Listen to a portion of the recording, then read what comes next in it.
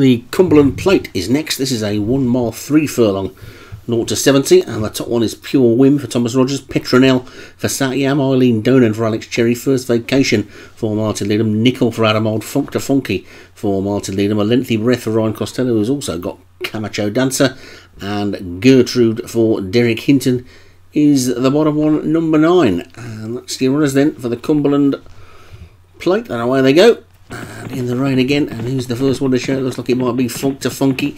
And that one is going to try and get across to the fence, but Satyam's Petronel is having none of it, and that one is going to do that instead. Gets across to the inside rail and leads. So Petronel in front then, with Funk to Funky second. Eileen Donan is just about third from Camacho Dancer for that one. Wide on the track is first vacation, but you can see they're virtually all in a line with the exception of the leader, for Satyam, who's clear them by about three to Eileen Donan in second, and then Camacho Dancer after that one, and then Funk to Funky and Pure Whim Nickel after that first vacation, going widest on the track along with Gertrude in the pink jacket, and a lengthy breath might just about be the back marker at the moment. They're inside the final mile now, and Petronel in the yellow jacket is clear by three to Eileen Donan in second, Nickel is third, and Pure Whim is fourth. Then Camacho Dancer after that one, and then comes Funk to Funky, first vacation on the outside, is trying to get into it as well as they come down towards the final six and a half furlongs in now and Petronel is still the leader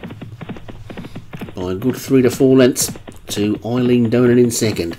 Funk to Funky is uh, third, then the Costello pair of Lengthy Breath and Camacho Dancer, and then Nickel, and then Pure Whim, uh, and then Gertrude. First Vacation has now switched to the inside and is going to try and cut the inside rail. Not quite sure what the jockey is trying to achieve on that one, but Petronel is clear in front with Funk to Funky now coming through to challenge and throw down a big challenge, but doing it four furlongs from home, which might be a bit soon. It's Petronel in the lead, Funk to Funky second, Nickel is coming there through in third, trying to give Adam Old a quick double. Then comes a Lengthy Breath and Eileen Donan, Gertrude Gertrude is next. Then comes Camacho Dancer pure whim. First vacation is still struggling at the back. A good two or three lengths adrift for the remainder. But it's Petronel in front from Funk to Funk. Who's now throwing down a big challenge on the outside. Here comes a lengthy breath. Gertrude is still there. So is Camacho Dance. And Nickel's in a bit of a flat spot. So is Eileen Donan. Pure Whim is trying to run the race into the final furlong and a half. And Petronel on the inside is battling on for the lead. But Funk to Funk is beginning to assert on the outside. But now Petronel comes back as they hit the final furlong. It's Petronel who's starting to burst away then.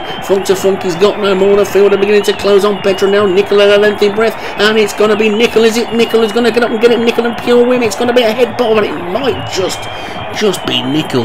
That might be a quick fire double for Adam Old. And if it is, I would suggest that that might be his first double of the season. Definitely won it. He's definitely got a share of it anyway. I think he's won it easily. Yeah, he's won it by a head. Nickel for Adam Old, the winner. Pure Whim for Thomas Rogers, second. Gertrude for Derek Hinton was third. Eileen Donan for Alex Cherry was fourth. Petronel looked the winner at most points in the race for Satyam was fifth.